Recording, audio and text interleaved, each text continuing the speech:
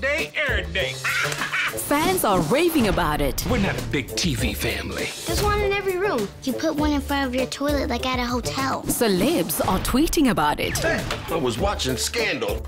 And no one takes on the issues quite like it. Jack needs to be taught a lesson. Well, if you want to spank him so bad, why don't you do it yourself? Because you're the spanker, Dre. I did it one time, and I cried like Whoopi in Color Purple. We're getting a gun. No! Yes! I hope that gun is more important to you than sex. What? She don't really mean that. She'll come crawling back to get this lovin'. No, she won't. I know. Blackish, tonight, 7.30 on E!